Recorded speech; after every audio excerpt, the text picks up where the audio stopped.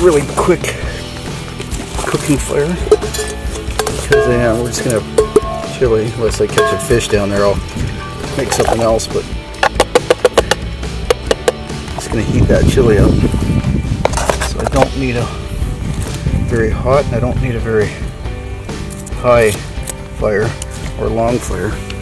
So I'm just going to have a very quick hot fire. I'm going to push the coals underneath. The fire starts here, and then I push the coals underneath there. So I'm cooking with with a more even coals rather than rather than uh, hot flame.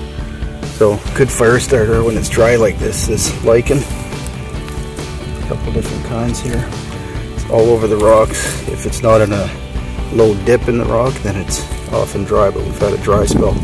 In fact, I'm going to keep the fire low for that reason too. It could be a fire hazard today, especially with the wind, but the fire pit located so that any sparks would actually blow down in the rocks and the, and the water here, so it's a pretty safe spot. I'm going to go ahead and start this lichen.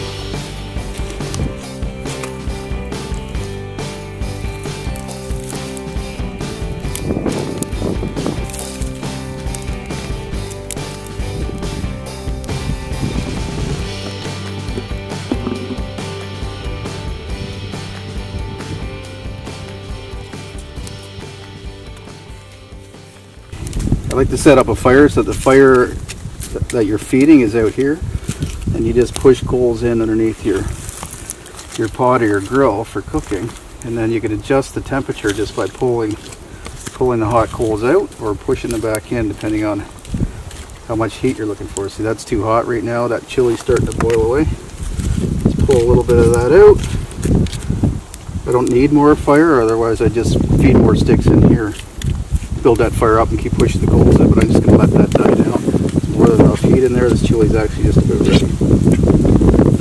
So that, that's a, and if you don't, you don't actually need a grill very often unless you have multiple pots on there. A couple of flat rocks that you can put a pot, um, rest a pot on is good enough.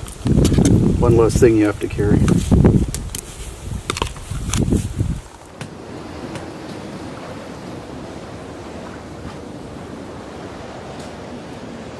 Just breaking open a piece of freshwater mussel here. I've eaten these things in the past, especially on a trip where I don't bring as much food. I'm living off the land. Uh, they don't taste very good. You have to clean them really well. And they can be actually bad for you because they do filter contaminants, pollutants. So they can concentrate those. I don't typically eat them, but they are fairly good for bait. So I'm just baiting up a hook here and I'm going to toss it in by the weeds behind me. It's school of smallmouth bass chasing minnows in there. I've already caught a couple of small ones, small bass, and one big one, which I had to let go. But I'm going to throw this in and watch the bass fight over it. I'll probably hook one. You'll see a couple of other bass maybe chasing the first bass, trying to get um, get the morsel out of its mouth. So I'm going to give this a shot again.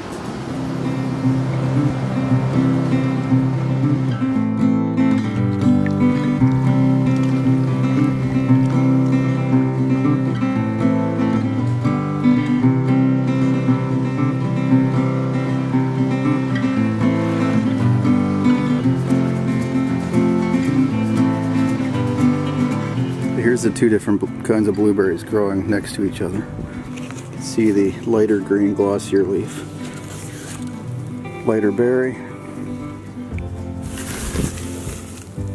I find them not quite as sweet. I think that's pretty typical. I don't think it's just me.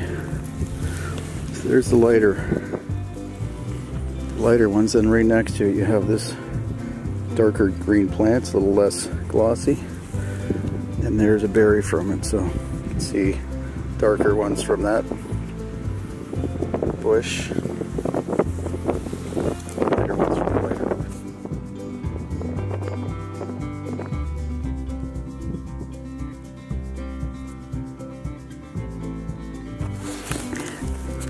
So here we have blueberries